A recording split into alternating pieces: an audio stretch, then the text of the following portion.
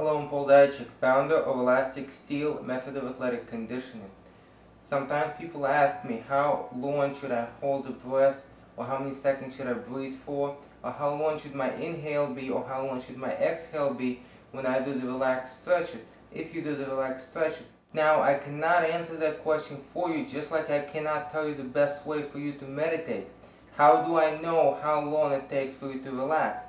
How do I know that once you take that inhale, something happens? Maybe a noise, maybe a thought goes into your head, and you're not ready to go deeper, you're not ready to exhale. You may need to inhale and exhale a few more times till that thought goes away.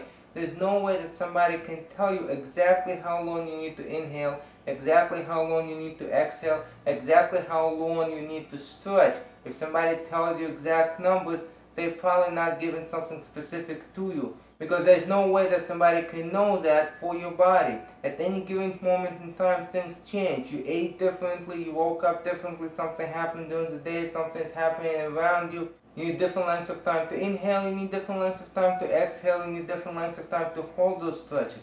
Okay, this is something that you have to find out on your own by actually practicing.